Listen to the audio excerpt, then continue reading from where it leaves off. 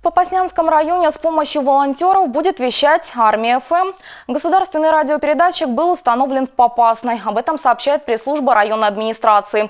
Отныне на частоте 97,2 будет вещать украинская государственная военная радиостанция Армия ФМ, которую смогут слушать не только жители Попаснянского района, но и военнослужащие, которые защищают территорию района.